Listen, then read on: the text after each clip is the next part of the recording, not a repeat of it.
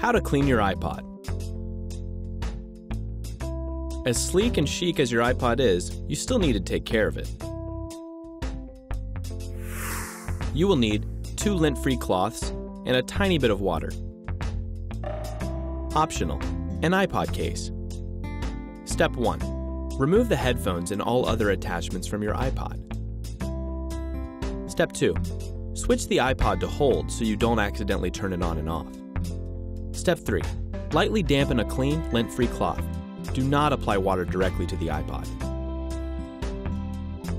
Resist the temptation to use cleaning products that aren't specifically formulated for iPods, which could damage yours. Step 4. Wipe your iPod clean with a damp cloth.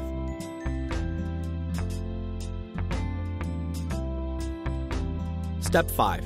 Dry it with another clean, lint-free cloth.